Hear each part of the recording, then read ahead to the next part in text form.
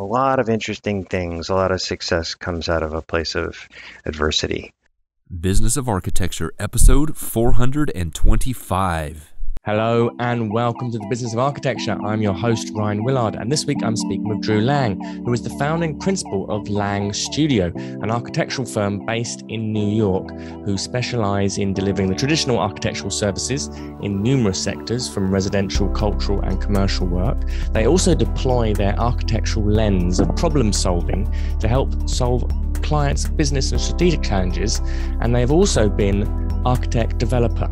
Um, notable projects include the Hudson Woods project, which is a great example and a collection of 26 dwellings on 131 forested acres in the Catskills region of upstate New York. Drew is originally from New Orleans. He studied at Yale University and settled in New York City in the early part of his career. And this is where his practice is now situated. He is also the founder of a community called Brick and Wonder, which is dedicated to supporting and connecting real estate and design professionals. Drew is an active advocate for positive collaboration. And in this conversation, we discuss the challenges of being architect developer and how they resolved many of these issues in the Hudson Woods project. We talk about the power of collaboration and community and why your network really is the backbone of your business and how this philosophy led to the creation of Brick and Wonder and what that is. And we also discuss the future of architectural business and strategies that are involved for creating a long lasting design led firm. So sit back, relax, and enjoy Drew Lang. This podcast is produced by Business of Architecture, a leading business consultancy for architects and design professionals. This episode is sponsored by Smart Practice, Business of Architecture's flagship program to help you structure your firm for freedom, fulfillment, and financial profit. If you want access for our free training on how to do this, please visit smartpracticemethod.com. Or if you want to speak directly to one of our advisors about how he might be able to help you, please follow the link in the information. Drew, welcome to the business of architecture. How are you? I'm great, Ryan. It's great to see you. Fantastic. Now, I'm very excited to be speaking with you. You are the founder of Lang Studio. You're also the founder of Brick and Wonder. Um, your company, Lang Studio, kind of straddles a number of different domains architecture, obviously been the sort of predominant one, a traditional architecture studio, but you've been involved in development um, and kind of doing your own projects. Hudson Woods being one of the most notable ones and a very interesting um, project. And you're also, as I said, founder of Brick and Wonder, which is um, like a network of collaborators, architects, engineers, other consultants, people working in the AEC industry space.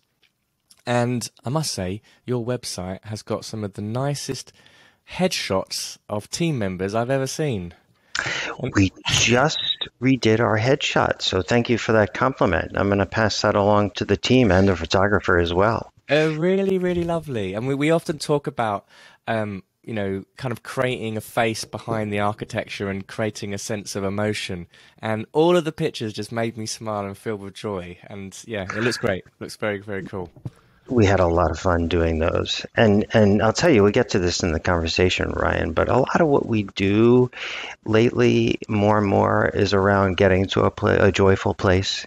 Mm-hmm. And it it's something that is lacking in, in in my mind across our industry and that I want to get to more of uh, with our studio and it's something we think a lot about in our brick and wonder community as well. Yes. Well, it's it's interesting actually the the seriousness, if you like, that many of us end up kind of getting entrenched in into the architectural right. industry, and, right? And and this can come across in all of our communication, and it ends up creating a bit of a gap and a bit of a void between us, clients, other collaborators, and actually, this is that connection is part of the magic of running a successful business. I, I couldn't agree more, Ryan. And look, whenever we get to that place, um, that joyful place, uh, and get get in, in get into this this this um, zone where you know things are really running smoothly. It's so wonderful and and such a different place from you know the place we often get stuck in. You know that rut of mm. seriousness, if you will. So tell me a little bit about how did Lang Studio come about? What was the impetus behind setting up your own studio?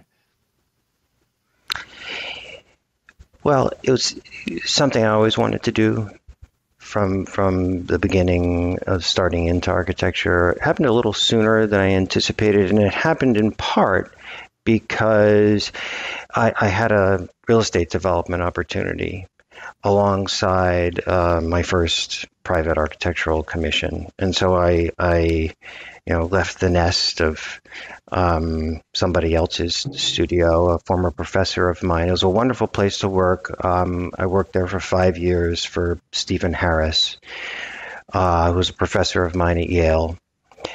And it was a great training ground. In a lot of ways, I was sad to leave and still think very fondly of it. But um, had two very good opportunities. One, a um, uh, got renovation of a large studio in Soho in New York, and um, and simultaneously a really interesting real estate development opportunity in New Orleans, which is where I'm originally from. And so those are the two things that that sparked um, the launch of my studio. Brilliant. And in those early early days, how were you finding work? How did how did you build your pipeline? Right. Right. Well, I, I always thought of it um, uh, as a dual pronged approach, and now it's a multi pronged approach. Mm.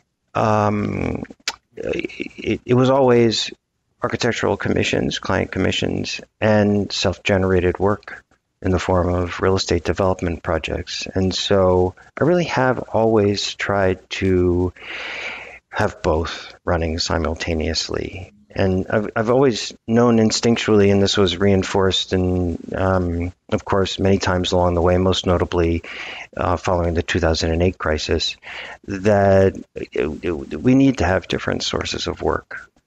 And we can't be solely reliant on client commission work.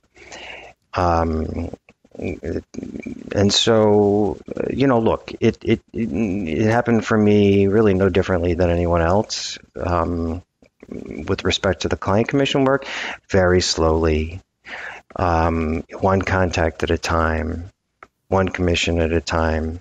You know, at, at, first it was just me for a number of years, and then little by little, um, building a team. But um, when you're starting out doing the work yourself, as well as going out and getting the work, um, you know, that's challenging, needless to say. So, look, it happened slowly. Um, it was a struggle. I think we um, died several deaths along the way and then were reborn, right? Um, so I mean, we can get into those stories if you'd like. It, I don't think my story is so different than other people's. I mean, one death we experienced was following the recession. We'd built up a team um, by the time 2010 came around, um, I had gotten to the point where I had to let everybody go, and it was back to wow. being just me. Um, you know, I was really at the brink of truly dying, and um, was giving real thought to closing up shop. Um, and at that point, um, I decided to launch a larger development project. That that was um, I think I was emboldened by um, the, the the the the the depths of that depression, if you will, and it was a real depression in many respects for me. Um, I mean, I was down in the dumps. I felt terrible. Um, a young child who'd just been born, and of course, felt a lot of pressure on the home front, sure. uh, including my wife uh, insisting that I go out and get a job. Um, and so out of you know out of that I launched our Hudson Woods project, which which right. became our largest self-initiated development project to date. And you know, and that's that that that's proved to be really transformational. Hmm. And um, you know, look, I, I, I owe it to the Great Recession in so many ways, right? That that that I was compelled um, to to take that sort of leap, to take that sort of risk, and it was a great deal of risk, but out of it came a great deal of reward. Well, this is this is very fascinating. I mean, uh, you know, the many people I've interviewed, 2008 has been a real pivot point in their businesses. Either businesses got started because jobs were lost, or businesses went through this kind of intense contraction, as you're describing, and it was kind of forcing people to, okay, which route do we go? How are we going to get out of this? How are we going? How are we going to survive? Um, so moving into development and taking on a project like um, Hudson Woods that would seem well in, in, emboldened is a great word. Um, what were the what? How did this come about? I'd been mulling over the the set of ideas we we we carried out for mm-hmm. quite some time. Um, so I felt I feel like it had been brewing, and um, you know, really, it was a matter of going out and executing these ideas.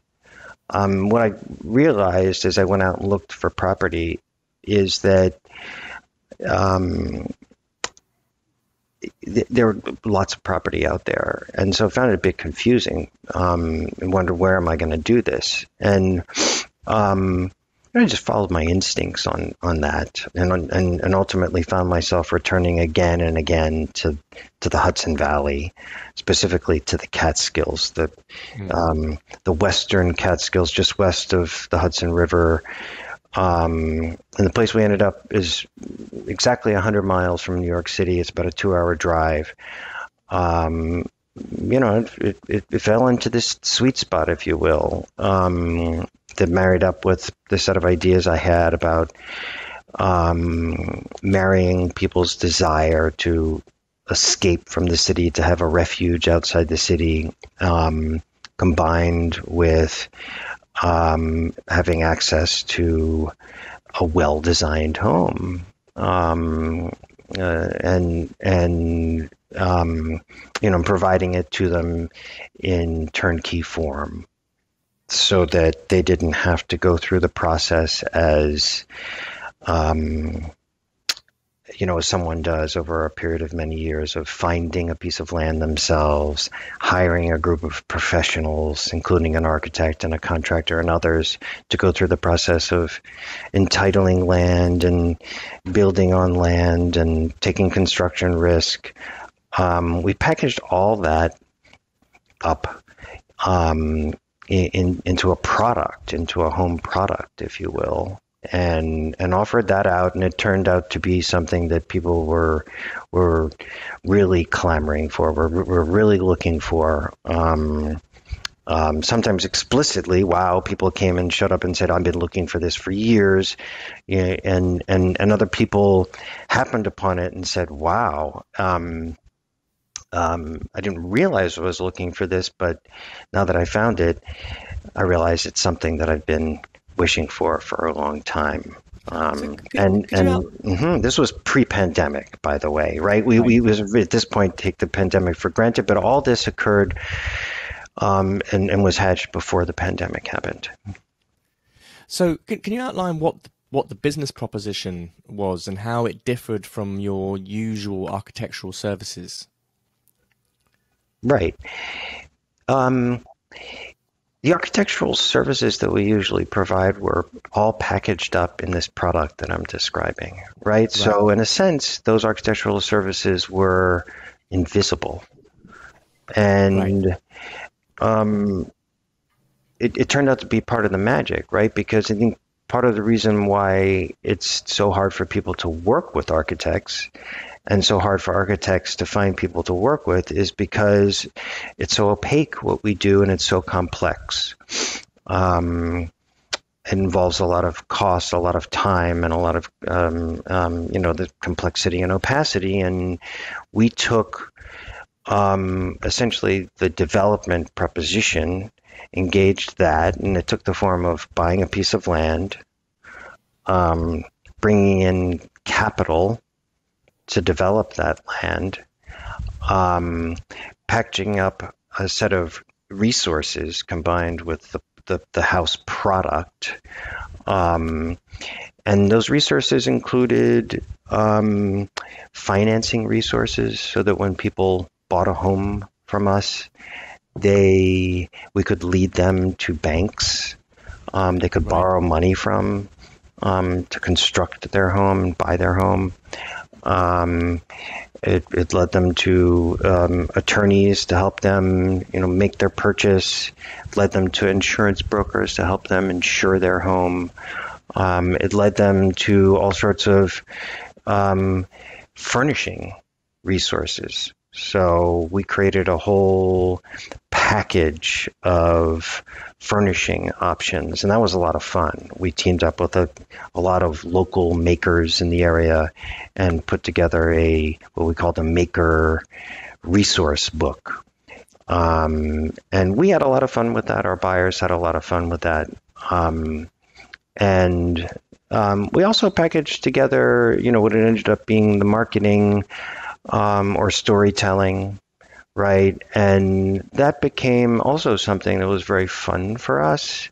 Mm-hmm. Um, we were telling the story not only of uh, our design, design and development process, Ryan, but we were also telling the story of this place um, in the mountains that was really magical and um, you know was primarily about nature um, and and again experiences through the different seasons and nature and access to different towns where one can experience the town's histories and culture. And so there are endless series of stories to tell around that right?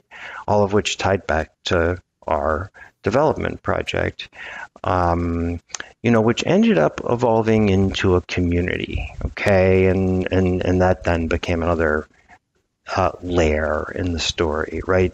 So there were 26 lots on our 130 acre property that we developed. Okay, so 24 um, families, um, in some cases individuals, but um, most of the time families, uh, bought in to this community and became community members. And, um, you know, now we're on the other side of it. Okay. I had a home there with my family for a period of time as we wrapped up the construction and for a bit of time thereafter. And so I was part of that community.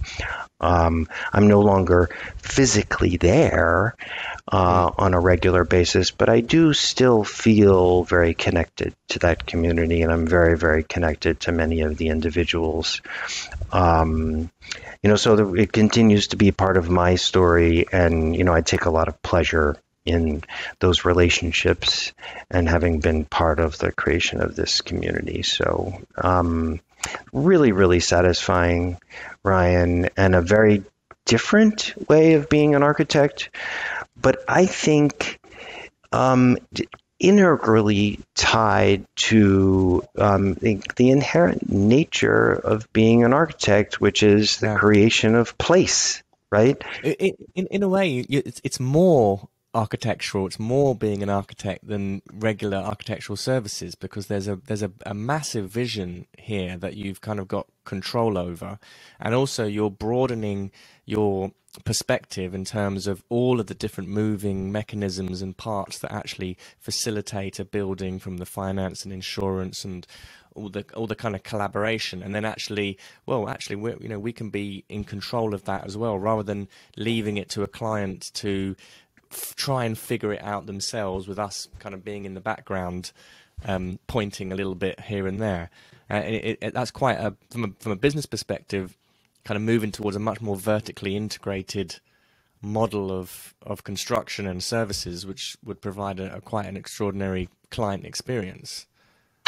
I, am glad you, you you you picked up on that and said that, Ryan. That that it, it represents more of what being an architect is is about than than it might ordinarily in a practice of mm. architecture um, I have felt along the way in my professional career that that the practice of architecture has become too limited and limiting, and um, and that largely comes from a place of of of fear um, and aversion to risk.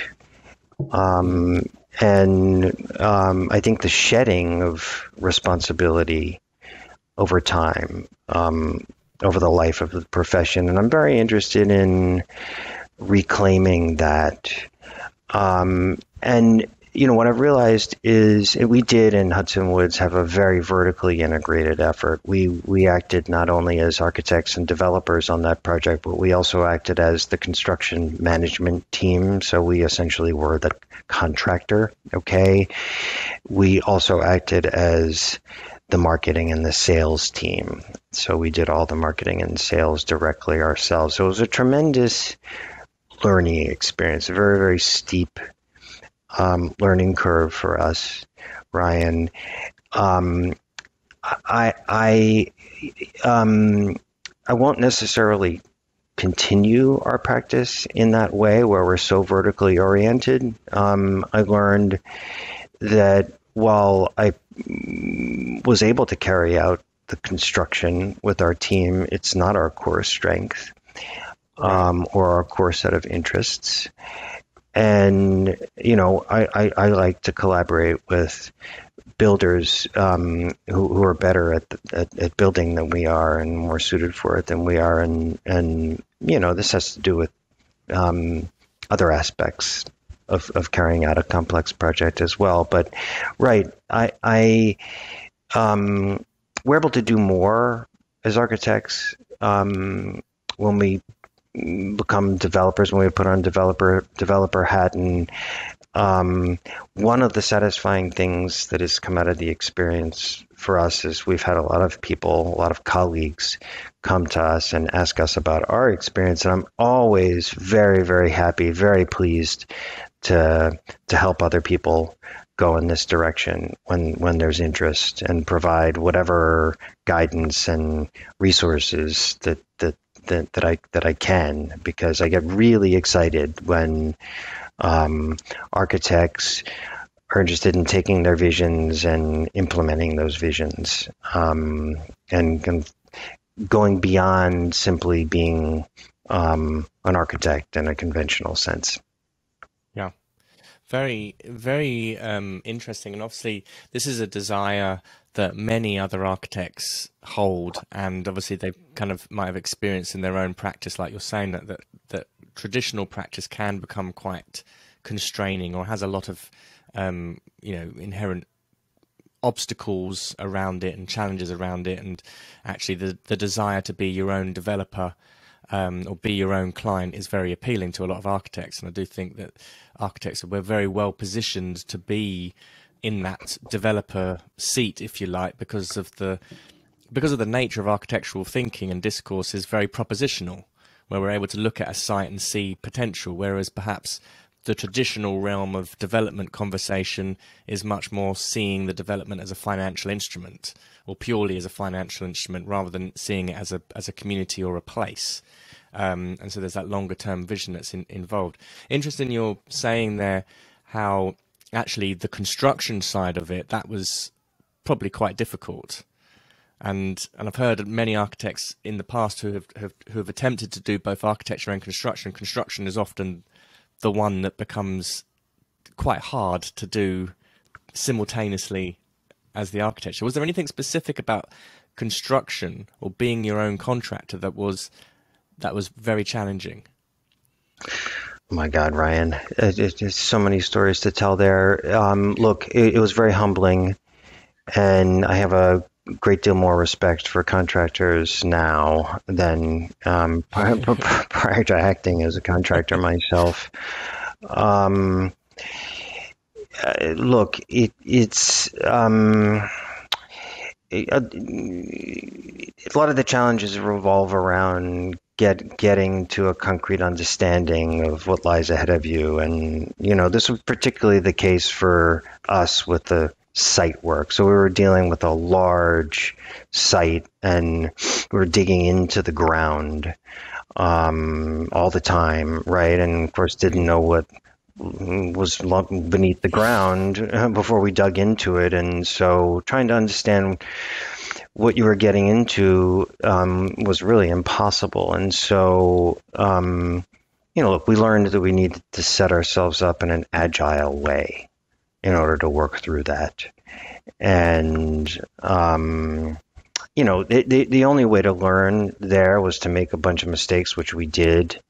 Um, we hired our initial excavation team, and they um, they they ended up taking advantage of our naivete and almost sunk us. I mean, it it, it if we, if we didn't see what was happening, Ryan, um, they, they, they, they would have sunk the project and it would have never gotten built, right? So, mm.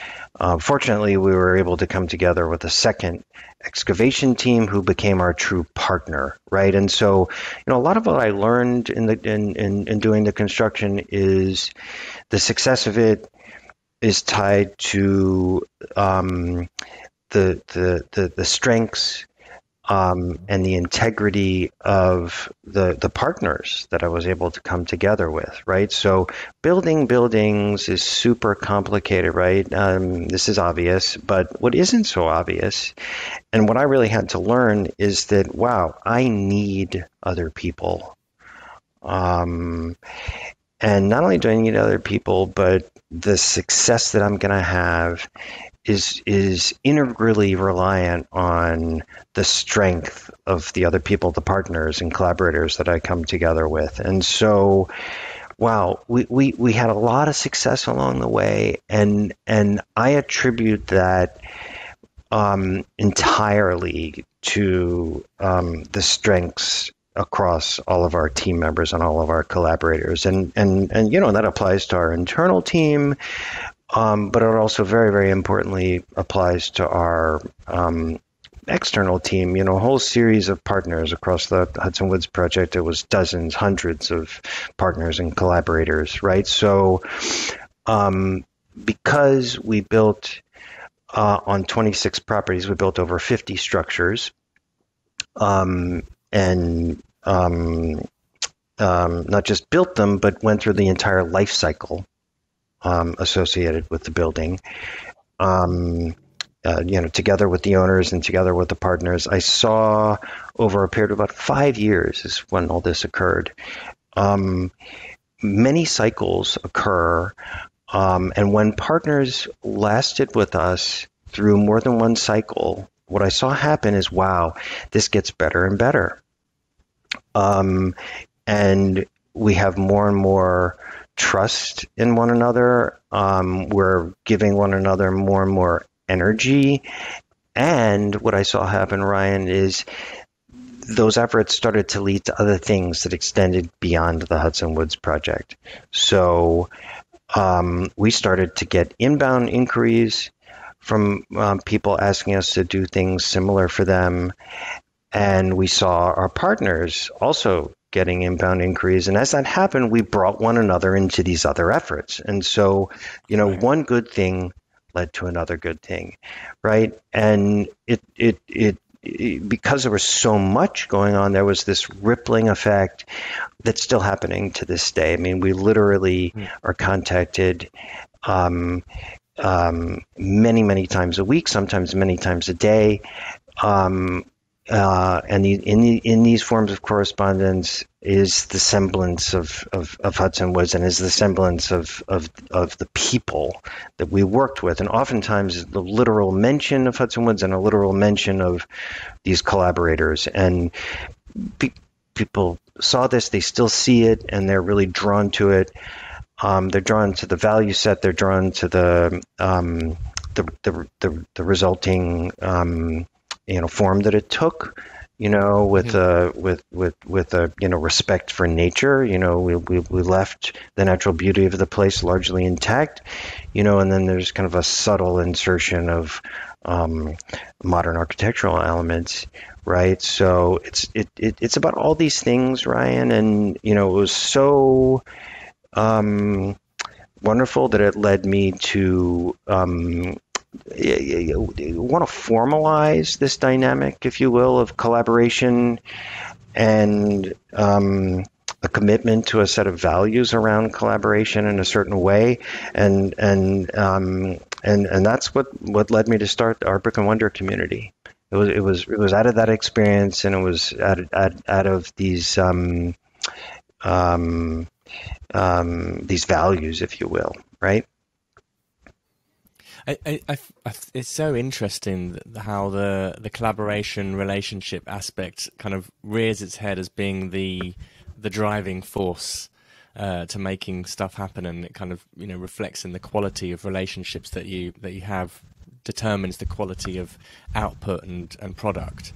Um, when you first started the Hudson Woods project, you, you were saying earlier how this kind of was born out of the recession. And this was in actually actually in a position because many people would conceptualize of okay if i want to move into development this has got to be something that we do when we're when we've got an abundance of cash lying around and we're development. But actually you're describing something that happened that after something you know a, a contraction in the economy and in your business was it relationships then that allowed this to happen? What was the what were the, some of the first moves that you made to start taking it just from a, an idea into what it became? Yeah. Um, look, if it, from, from the very beginning, I, I, I wasn't afraid to reach out to people that I knew and people that yeah. I didn't know and ask them for help. And there are a lot of things very quickly that I needed to do that I didn't know how to do. Um, I could do a back of the uh, envelope um, financial calculation, but I couldn't get much beyond that myself. And so I tapped a close colleague to help me run um, our financial models. And this is someone who um, was a friend and a colleague when we first started into this. Now he's a very, very close friend and a very, very close colleague. And he worked through the Hudson Woods project with me, and you know we continue to work on other things to this day. You know, and and and that's been the case with so many people. Um, uh, in, in, the legal realm, in the insurance realm, in the construction realm, in the um, product supply realm, uh, you name it, marketing, photography, um, all the touch points over the life cycle. So yeah, look, it, it's it's um, you know I was really um, clear starting into this about where my strengths were and where they weren't, and where I was going to need help. And I needed help in a lot of places right? And so I was reliant from the very beginning on other people. Tell, tell me this, Ryan. You, you you work with a lot of people across the industry, and you know we've talked about constraints. Now people are constrained, yeah. and you know w- w- the kind of things that leads the, that lead lead them to you know get out of their comfort zone, if you will, or out of these places of constraint. What do you find leads people to those places, and and or not? Right? What what what, what keeps people um, from going to those places. Well, adversity is a big driver, absolutely, um, and these, these kinds of scenarios of um, being forced into a situation of, of change can really encourage or empower, embolden was the word you were using earlier, to have people step outside of that comfort zone. Um, and I find that that's always very, very interesting. When something unexpected happens, there's an adverse situation that this often calls upon something where you know people go, people go people start digging digging deep, if you like, um, and will really start making a making a change. Other people I've, I've noticed will often have just a hunger hunger for, a hunger for kind of continually challenging themselves and doing something different and there are these ideas that start that kind of that won't go away. They won't go away, and so people kind of end up feeding those ideas and being in the right environments. That's often one of the catalysts for for growth of ideas that I've seen a lot of people engage in. That makes sense. Yeah, adversity and hunger. Um, yeah, I agree. Well, it, it, it, it's it's interesting because 2008 really was one of these periods where so many people I've interviewed have spoken about it was 2008, everything got wiped out, and it was this opportunity to reset and to ask myself the question is this really what I want to be doing? Is this the direction I want to go? And well, no, it's not. What more can architecture, the industry, offer us? What more is is possible? How can I change my way of practice? So it was a great sort of realignment, a painful realignment, but a great sort of realigning lesson, if you like. And I think certainly in business, the that many many opportunities are born out of the, the difficulties or or a failure, or when we're trying to do something the way that everyone else has done it, where where that's actually a very dangerous strategy. I, I couldn't agree with you more. And it's it's look one of the reasons why we're in a really really exciting time, right? Um, so at the current moment, we're entering into a, another recession. Likely won't be as dramatic as 2008 was, but um, and we have a bear market and rising interest rates and right challenging set of conditions. Um, you know, the, the, the, the, larger set of challenges that we face um, globally are, are um, along environmental lines, you know, and having to do with the with global warming and the threats to our planet, right? So I, I'm really excited about the opportunities in front of us in relation to that adversity, right? And um, uh, you know, it's it. I'm always looking for for interesting opportunities that tie into that. I, I don't I don't know what mm. those opportunities are going to be that we latch onto, Ryan, but um, but but I'm on the lookout for them. So you know, no no question that that that um, a lot of interesting things, a lot of success comes out of a place of adversity. Yeah, problems. Mm-hmm. problems to be celebrated. I mean, we know as architects that you know it's very difficult to draw or design a building with a complete blank canvas with a featureless site, and it's the constraints that give juice and richness to Absolutely. architecture. And it's and, it's very much the same thing in in business. And a good business has at its core the ability to solve complex problems or problems that are emotionally fueled from people. And a recession causes pain and it causes problems. And if we're willing to kind of raise our heads above the parapets of the firefighting that comes with re- recession, there's often the silver lining or there's often um, opportunity that, again, it's not always a comfortable journey to, to sail, but it's often it's often present. And so looking for problems, I think, in, in, in, businesses and looking for problems as, as architects, this is where we start to open up a, a very interesting conversation. Um, you know, certainly when we're starting to think about the problems of our clients, for example, and the different challenges that they face when you know if they're a professional developer versus a residential client and as you were saying you know, with with the Hudson Woods projects well you know actually you're starting conversations around insurance you're starting conversations around bridging finance and loans and money and as an architect being able to broaden the scope of conversation, which is what we're great at. We're great at being generalists and knowing a little bit about everything. And this is one of the, this is the, the, the deep generalist idea, right? Um, it lends itself very nicely to being able to provide more intelligent and sophisticated solutions for for clients and for different businesses. Uh, and again, I, I, really I'm a big believer in the power of architectural thought as a lens to be looking at problems and and not even not even necessarily putting together an architectural proposition just the power of using an architectural lens to evaluate and identify clients' pains and problems in and of itself is incredibly valuable. Incredibly valuable. And we've seen a lot of businesses who are who are becoming very good at doing that before even making an architectural proposition. Which is, you know, very, very, very fascinating.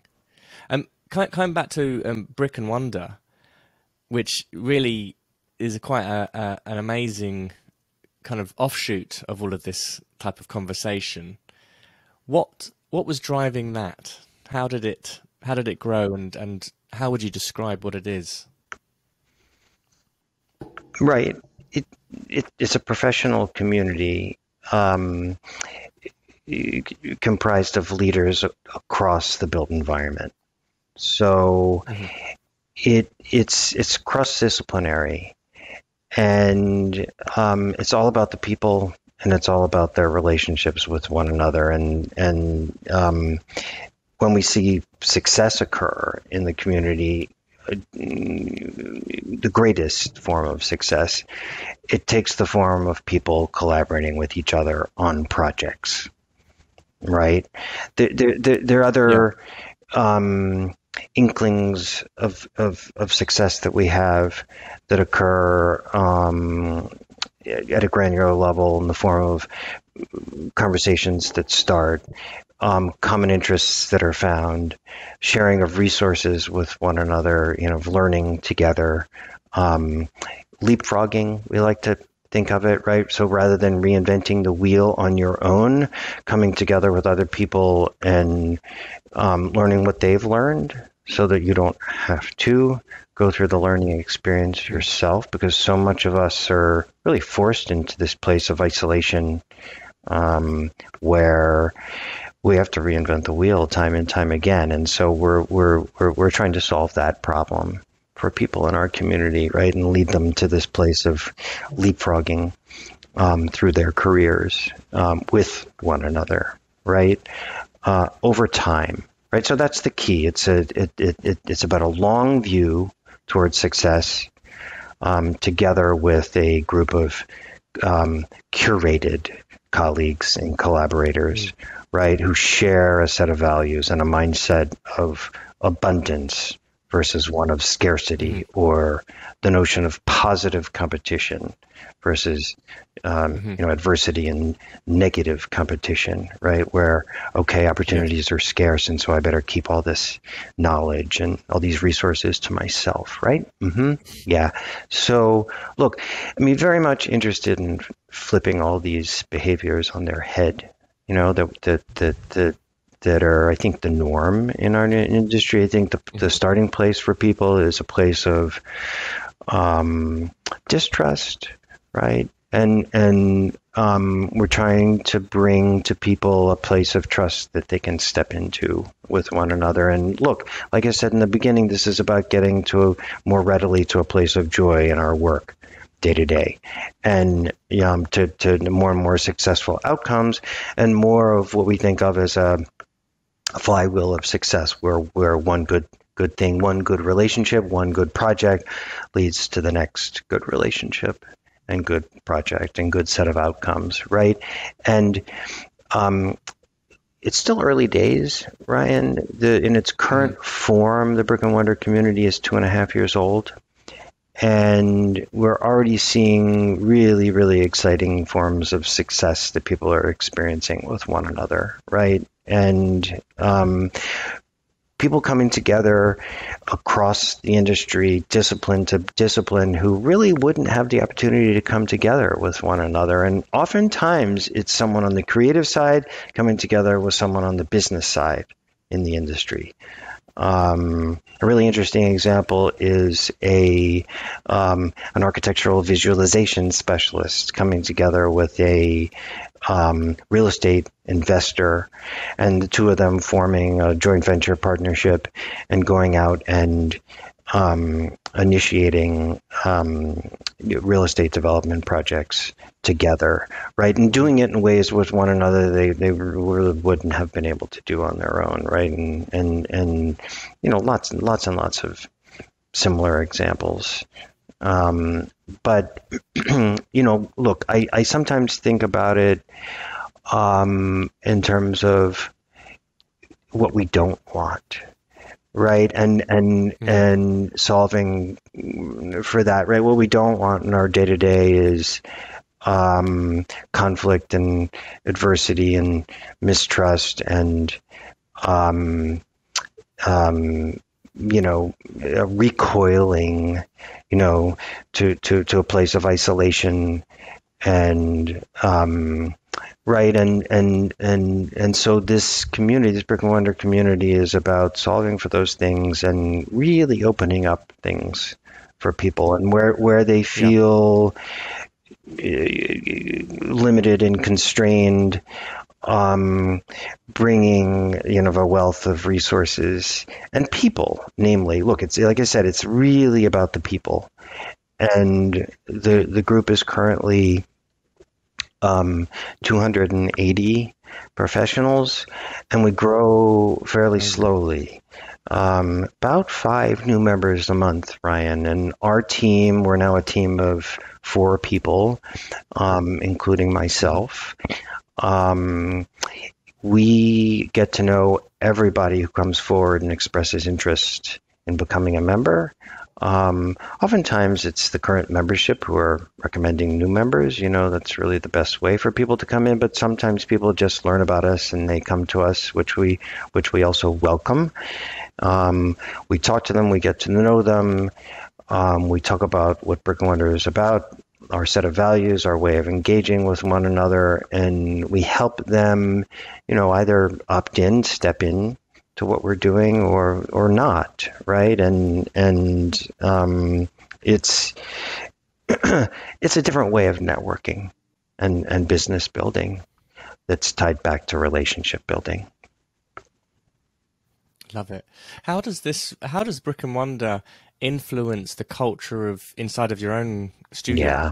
Because I can imagine that's quite that's quite a unique uh, kind of relationship as well, where actually the, the the, the Lang Studio is you know the same co-founder of of Brick and Wonder, and actually you're really encouraging relationships and nurturing those and communication very interesting to see how how does it reflect back actually into the culture of the studio. Yeah, it's very much a work in progress, right? I mean, as as as much as we embrace these values, Ryan, it's not easy. You know, mm. the Brick and Wonder team works together with the architecture and development team in the same studio. We're all in one space. We all have lunch together every Monday um, one o'clock. We order a lunch in, and we spend an hour and a half together. And um, we go around the room. It's it's currently a group of 18 people, um, the team, and we go around the room, and everybody shares a personal story and a work-related story. And um, you know, generally anecdotes, experiences, um, challenges, questions, problems, learnings.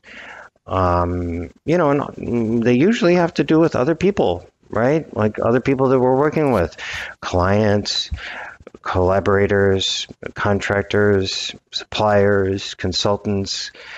Um, it's interesting, right? But it's not surprising. And look, we have to come back around into that place, and we, you know, we can force this conversation to happen once a week, and it's really, really helpful. Um, it's what happens is we all get busy. We all are in this mode of heads down, getting the work done. Um, you know, getting to the deadline, get getting information to the client, getting something built, you know, putting out a fire. And what's really, really hard to do is step back from all that and get perspective on it and and get to a place of intentionality around this set of values um, that tie back to the people that we work with and the building of relationships, right? So, look, we we we're very mindful of bringing this value set into the whole of our studio, and we're we're we're good at it on the one hand. On the other hand, it's a work in progress. I mean, look, I can tell you. Um, right now, this last week, I've been myself in the doldrums because a project of ours has gone a little bit south. Not to the place of, you know, beyond return, right? And why has it gone south? Because the relationships have gone south. And why have the relationships started to go south? It's because communication broke down. And Mm-hmm. I'm, you know, I am really beating myself up about it, right? Because wow, I'm I'm supposed to be good at this stuff, right? I think about this stuff a lot.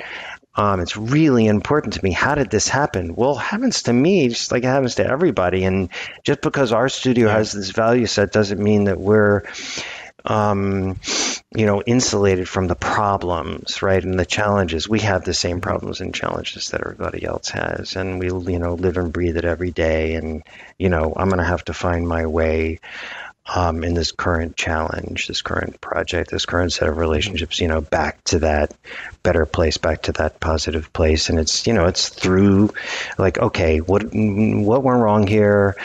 How did the communication break down? And, you know, how do we, how do we, how do we get to a better place? Right. So it's, it's, it's, um, I, I tell you, it's, it's helpful super helpful. We had, in a certain sense, have a have an edge, have an advantage, right? Brick and Wonder, the heart of it, the you know the the, the team is sitting you know right in our studio. We can plug into that at any moment, right? Um, but um, but look, it's it's tough for us too. The good news is, m- most of the time things are going really quite well for us, and we're we're fortunately yeah. more and more getting to this place of joy. Um, mm-hmm and um, but we have to be intentional about it. I mean, it looks like any relationship. You know, people talk about this in marriages, right? How, wow, you have to always work at it, and um, you know, it seems surprising. Like, really, God, you know, you, you should be able to get married, and it should just flow. It should just, you know, it should just work. Just take care of itself, and then, you know, everybody's reminded, well, no, it doesn't work that way. You know, you you, you constantly have to be intentional. You have to work at. Look, same thing with with with with us and all of our projects and all of our relationships, even though we have Brick and Wonder sitting right there at our fingertips all day, every day. So yeah. Amazing, amazing. It's it's very interesting, obviously, to to to hear that and like you know, the I guess the power of these kind of communities and networks as well is you being able to take a problem and share it with other people because obviously, obviously when we've got a, a problem, we're inside of it and we're not always able to, to see it rationally, logically, or we're not. There's blind spots yeah. just because of our the way that we're participating so closely with it, particularly in relationships, and sometimes just having the space to safely share what this relationship is happening. Somebody from the outside can be like, "Oh, well, why aren't you doing this?" or so, and in, in, some cases, it can be as simple as just relaying exactly the same words you've just said back to you for you to go, oh, well, actually, when I when now I've now I've been listened to, I can actually see that this is we're we're in a blind spot here, and there's there's potential solutions. It's really really lovely. Like this is the part of the richness of communication and and working with people. Um, that there is so much nuance and and, and challenge. That it's it's absolutely right, Ryan. You know the, the the one of the things we do inside the Brick and Wonder community is we we convene once a month um, in person with members in a roundtable discussion. Um, and we bring one topic in, in into that group that we know is going to be of common interest to everybody. And what you're describing right now, um, you know, just like the little blind spots, if you will, that we all have, um, are exactly what comes up in these discussions. And um, it's kind of rel- revelatory. Um, you know, people have revelations in these meetings every time around these blind spots that we all experience, right? And and that, mm-hmm. that's what we're doing for each other in the community all the time. That's what it's about of helping one another um, get through these blind spots um, in a proactive way, hopefully. Sometimes yeah. we're talking about things yeah. that have already happened and already gone wrong, but um, what we're working towards is is is is being able to um, um, be more and more proactive and get out of, out in front of our blind spots. Mm-hmm. With the type of uh, collaborators that are part of the community, you mentioned there the, the kind of uh, relationship developed between some visualizers and a real estate brokers or real estate developers and being able to create an interesting business proposition. Is there kind of traditional relationships, architect, developer, architect, contractor, builder, and projects are sort of emerging where its work is being passed around, or is it more proactive in the sense you might get an architect and a developer kind of working together and finding a site together and leading that, or is it a, a mix, a mix of all of these? It's a mix. It's a mix, right? The, the, there, there's quite a bit of um, um, people just simply tapping each other for their ongoing project needs. Mm. Um, a, a, a, publicist is looking for um, a, a, new set of photographers to bring in to um, document the, the, the projects for their clientele, right? And you know comes to us and, and, and in order to come together with new photographers, right? Or I mean, look, pick an example. you know, an architect's looking for a new structural engineer to build a relationship with, or um, a developer is looking for a new window manufacturer to bring into their into their midst into their project right i mean look all these things we all have these ongoing needs around our projects. Everybody does. And so yes as a matter of course that happens. The that's great. The reason why that's less interesting to us is because those relationships will tend to start at, at, at the at the at the at a place of transaction, right?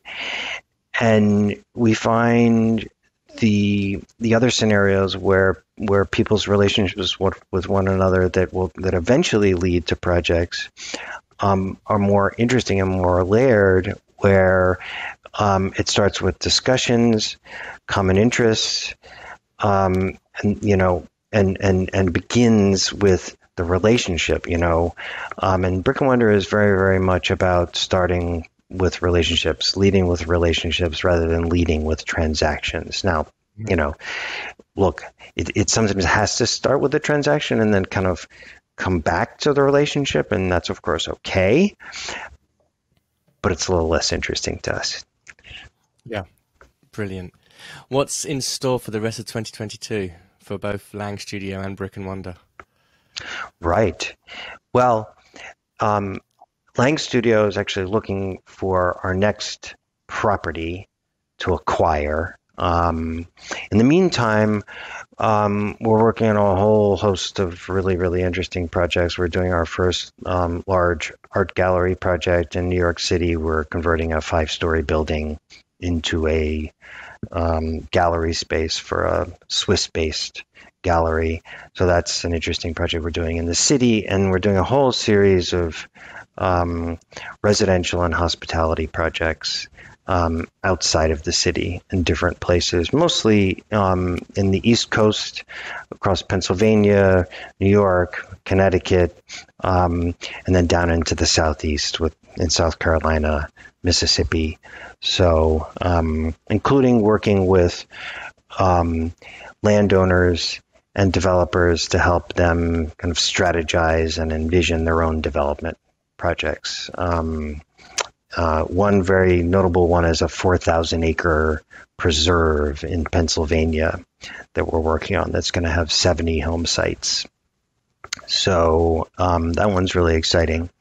On, on the Brick and Wonder front, one of the things that we're working on um, as we look to um, um grow into next year is um, bringing the Brick and Wonder dynamic and the Brick and Wonder community to our members' teams. Okay, so Brick and Wonder operates right now at the level of the individual, mm-hmm. um, and and most of our members are company owners, um, principals, leaders, senior leaders, right? Mm-hmm.